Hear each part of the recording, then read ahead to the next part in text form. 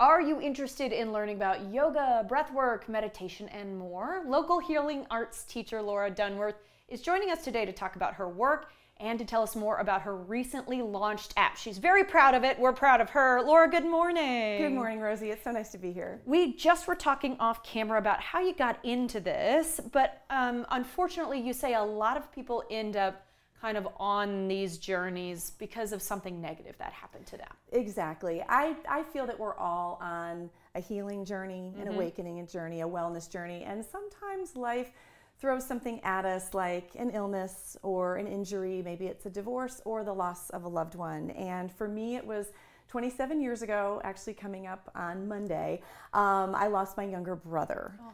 And it was just such an interesting time because not only was my heart feeling it, the grief, all of that, but I started noticing my body was really having a hard time. I was feeling very anxious all the time. I was having a hard time sleeping. Um, my digestion got kind of messed up. It was like, okay, wow, what is going on here? Um, our minds, our hearts, our bodies are all connected. And so I kind of launched myself on this healing journey. It's like, what can I do to help with these emotions and these feelings? How can I embody them, release them, um, move past them, learn from them, and, and just all of these things? So I became a healing arts practitioner. So for the last 25 years, I have been practicing and teaching yoga, meditation, breath work, energy healing, and sound healing. And I have found that all these modalities are so incredibly helpful, calming the nervous system, helping with balance and presence and mindfulness.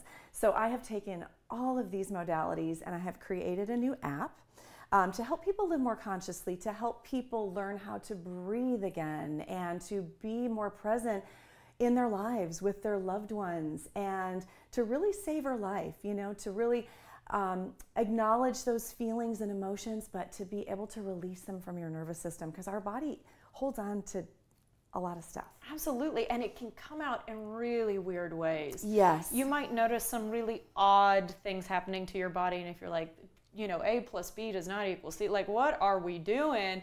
It might actually be that you're stressed to a level that your body's showing it oddly. Exactly. And it doesn't even need to be an injury or illness or loss of a loved one. Everyday life. Mm-hmm really brings up a lot of stress and emotions. And if we don't teach ourselves these tools, they tend to kind of escalate. They yeah. kind of tend to build up in our bodies. And so this app is just filled with all kinds of different modalities and techniques. I have a 21 day breathwork challenge.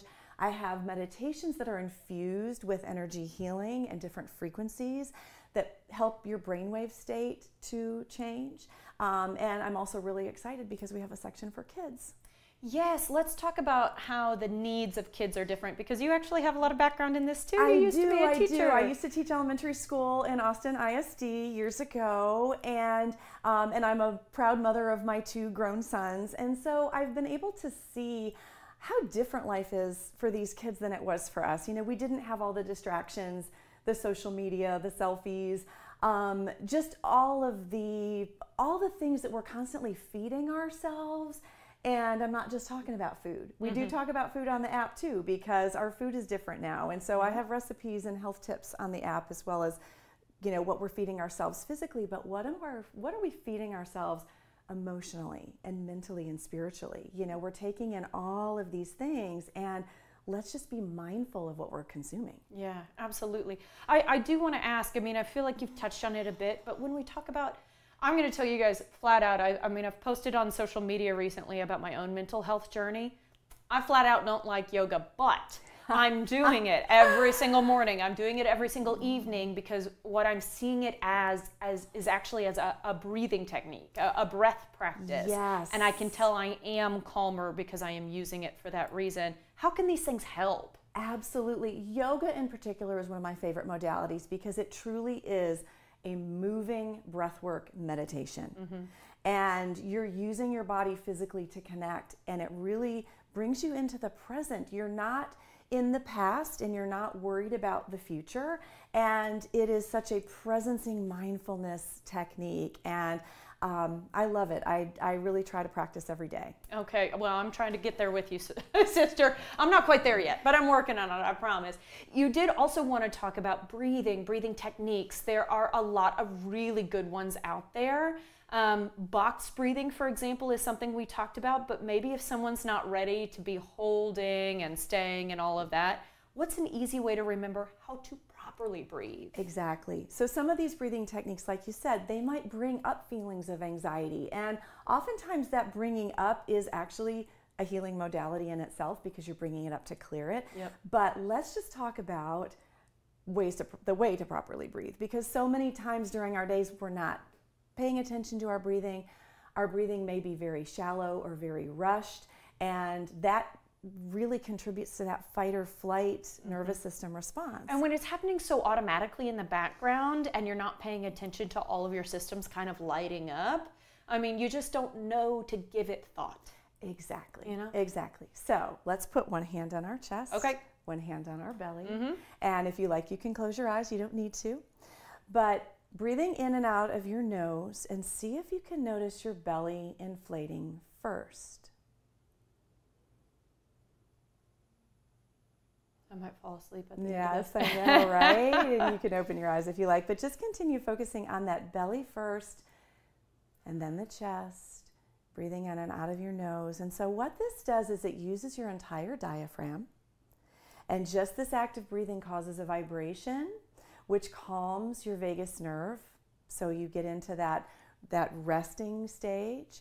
And also, breathing in and out of your nose does several things. It warms the air it purifies the air and it actually helps to create nitric oxide in your body, which is a naturally occurring healing molecule that is an antioxidant and an anti-inflammatory and helps to boost your immune system. I didn't know Who any knew, of these things. right? Yeah. Who okay. knew? We only have about 20 or 30 seconds left. Okay. I want to make sure I ask about the two studios that you practice Yes, at in town because yes. you do have offerings I here. do have offerings here. So I teach at two amazing locally owned studios. Sukha is one of the studios. There's a location in Tarrytown, South Lamar, and next week opening one on the east side on MLK. Super excited.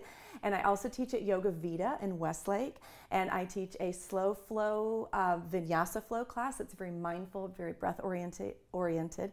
And I teach um, a meditation sound bath class a couple times a week, and that is crystal bowls, gongs really relaxing and such a beautiful practice. Sounds so interesting. So much to learn. Okay, we really appreciate your time this morning, Laura. Thank, Thank you, for so having much. me. You can download Laura's new app and explore all of her offerings. Head to the App Store and find Vitality Life Online, a conscious living guide. You can also check out her website, lauradunworth.com, to learn more.